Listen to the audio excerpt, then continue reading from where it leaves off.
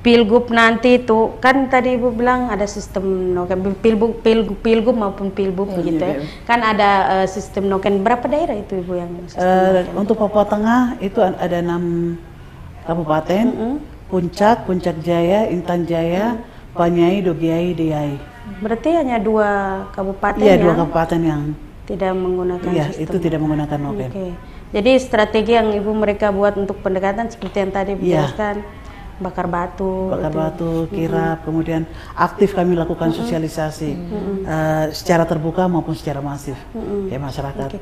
Ibu kalau sistem noken tuh seperti apa ibu coba? Uh, sistem noken itu sebenarnya kan sistem kesepakatan okay. yang dibuat uh, setingkat kampung, mm-hmm. ada yang setingkat distrik juga mm-hmm. ada.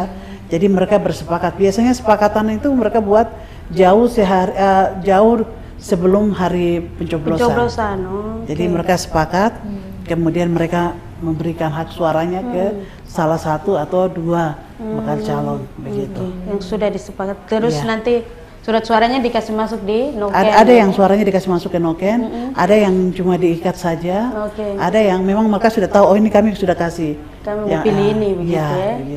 Okay. Oke. Okay.